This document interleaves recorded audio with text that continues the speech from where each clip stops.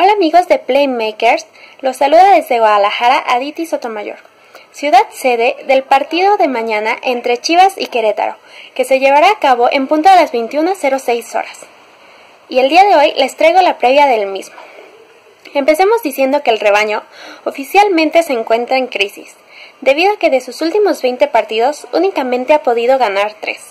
Y a pesar de que este torneo ha tenido ausencias por idas a selección y lesiones no es un pretexto para que el campeón se encuentre en la última posición de la tabla general. Por parte de Gallos, ellos se encuentran en la penúltima posición de la tabla porcentual. El tema del descenso los ha tenido algo distraídos y no los deja concentrarse del todo para sumar aún con equipos que no han sido tan fuertes este torneo.